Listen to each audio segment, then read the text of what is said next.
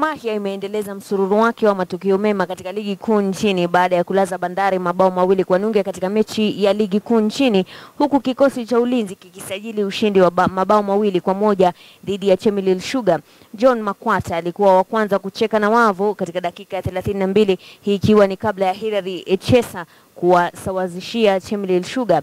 Bao la pili na la ushindi kwa ulinzi likawa ni lake John Makwata kupitia kwa penalti. Katika mechi tofauti, Bandari ilikosa kumakinika na kupata kichapo cha mabao mawili kwa sufuri huku George Odhimba akifunga la kwanza na Efeli Mulumba akajifunga na kumaliza mechi mbili sufuri.